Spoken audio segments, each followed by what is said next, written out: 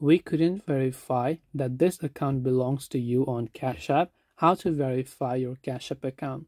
Now, this is not about identity verification. This is about your phone number or something like that, right? Because if you're encountering this issue, it typically means that Cash App is unable to confirm your identity using the information you provided, like your email or phone number or password. So the first step is to make sure that all of the information is correct. Open up Cash App and make sure all of the information that you've provided, such as your name, date of birth, social security number, they're all correct and match the records on file with your bank and government.